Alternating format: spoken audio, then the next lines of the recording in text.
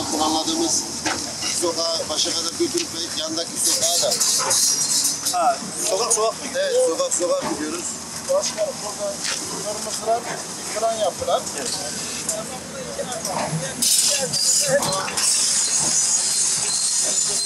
Şu anda Yüreğir Şehit Erkut Akbay mahallesindeyiz.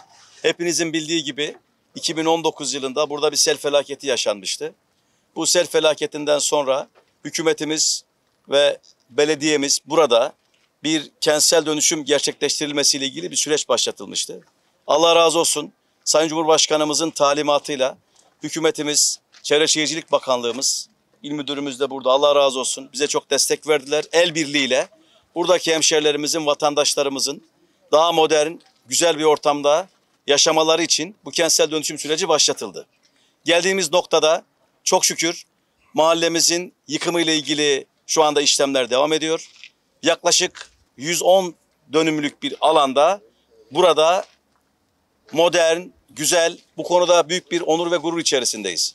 Şu anda yıkım işlemlerinin üçte biri tamamlanmış durumda.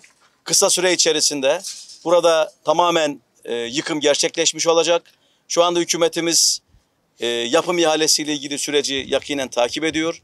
Kısmet olursa bu yıl Sayın Çevre Şehircilik Bakanımızın da katılımıyla e, temel atma töreni gerçekleştirilecek ve çok kısa bir süre içerisinde buradaki hemşerilerimiz yeni pırıl pırıl modern konutlarına kavuşmuş olacaklar. 20 yıl ödemeli bir süreçten bahsediyoruz. Hakikaten hükümetimiz, devletimiz burada vatandaşlarımızın bu gerçekleşen mağduriyetinden sonra e, büyük bir güzellik, büyük bir jest yapmış durumda. Sağ olsun hemşerilerimiz, vatandaşlarımız da bu yapılan jestin farkındalar. Az önce muhtarımızla da istişare ettik. Allah razı olsun diyoruz. Kısmet olursa bu görüntüyü tarihe bir anekdot olarak düşüyoruz. Çünkü Yüreğir hep söylüyoruz. Hakikaten e, kentsel dönüşümlerin, e, modern insanca yaşamın başladığı bir döneme denk geliyor. Ve Yüreğir'de tarihinin en önemli kentsel dönüşümlerinden bir tanesi gerçekleşmek üzere. Ben emeği geçen herkese çok teşekkür ediyorum. E, bakanlık adına Çevre Şehircilik İl Müdürümüz, onun ekibi, bizim arkadaşlarımız, muhtarımız, tüm mahalleli bu burada meydana gelen bu güzellikten büyük bir keyif alıyoruz. E, teşekkür ediyorum.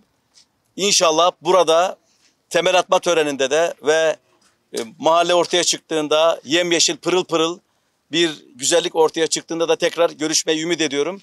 Ayrıca az önce Park Bahçeler Müdürlüğümüze talimat verdim. Dedim ki yıkım esnasında e, ağaçlarımıza zarar vermeyelim.